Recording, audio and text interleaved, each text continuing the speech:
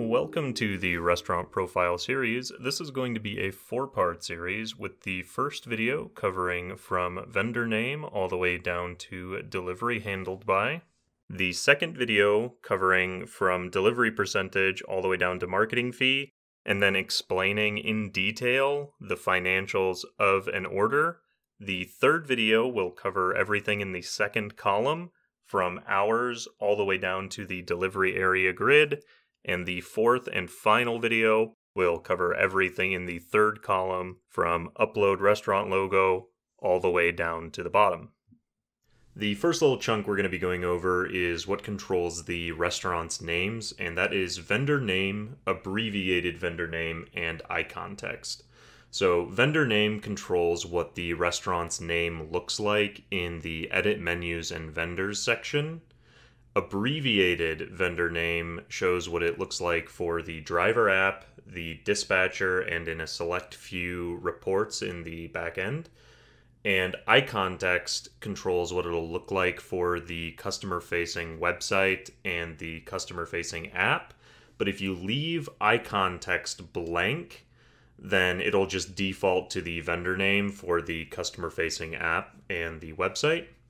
Tax rate is fairly self explanatory. You can remit the tax to the restaurant, so pay it through if you would like to, if you're not collecting it. The delivery area tax rate, if you're taking food one town over and they've got a local option sales tax that you're required to pay, you can check that. Service fees, these are fees that the customer will pay. So it's going to increase the cost to the customer and it goes to the RDS, not to the restaurant, not to the driver. You can do it in dollars or percentage of the food, whatever works better with your pricing schedule. And phone number, fax number, and place by phone fax, all of these are actually interconnected. So the phone number will be used by the voice confirmation system and by the driver app. So the drivers will be able to call and check on the food, and the voice confirmation system, if you have it checked, will call two minutes after the order has been placed, notifying the restaurant that they have an order. For place by phone or fax, if you are not faxing the order to the restaurant, you will have phone selected. And then right below that, you've got the address, city, state, zip code, and latitude and longitude. So you're going to go ahead and input the address information except for latitude and longitude. And after you have done that, you're going to go ahead and click fill. After you've clicked fill, if it worked, it should say successfully found and filled lat long for restaurant address. If it doesn't, first check that you've entered the address for the restaurant correctly. And secondly, that your Google Maps API is working correctly. You can do that by going into your site configuration and verifying that your API key is correct. If both of those are working, shoot us an email over at support at datadreamers.com so that I can look into the issue.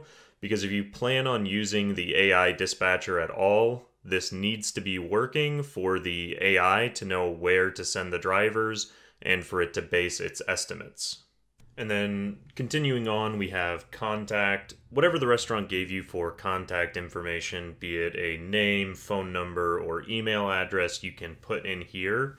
The email field below is primarily for email addresses where they would like to receive all of their orders if you put in a personal email address here and select email orders, they are going to get an email for every single order that comes through.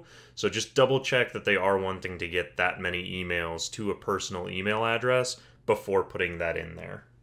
If the restaurant has any special instructions that they would like the drivers to follow, you can go ahead and input that into the driver directions.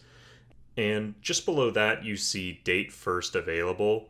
So put the day that the restaurant was first available. This is for a sorting option on the customer facing app and website where customers can sort by the restaurants that you have just recently acquired, and it even can display a small banner saying new as of the date that the restaurant was first available on your platform.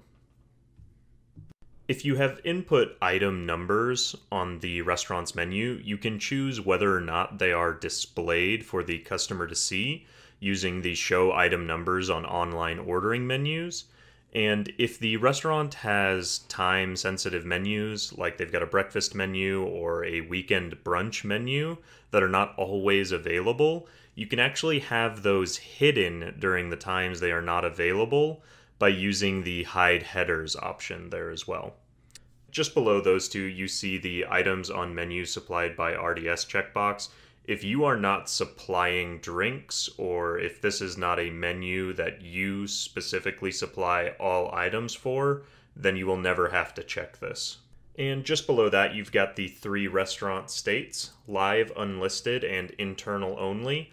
Live means that the restaurant is searchable and online, so the customers will find it on the website and on the mobile app. Unlisted means that customers can access it via a direct link, but it will not show up on the mobile app and it will not show up when searching on the website. And internal only means that it can only be accessed by staff via the intranet. Minimum order is fairly self explanatory. In order to submit an order to the restaurant, the food total must exceed whatever is entered in the minimum order. If you do not want to have one, simply leave it at $0. For delivery handled by, you've got the two options RDS and vendor. If you are planning on having your drivers go to the restaurant, pick up the food, and deliver it, leave it as RDS. But if this is a pizza chain or a pizza joint that already does their own delivery and they're simply using you for order generation, they're considered a pass through restaurant. You're just passing through the orders to them. Go ahead and select vendor, and they'll simply just move the orders right on through.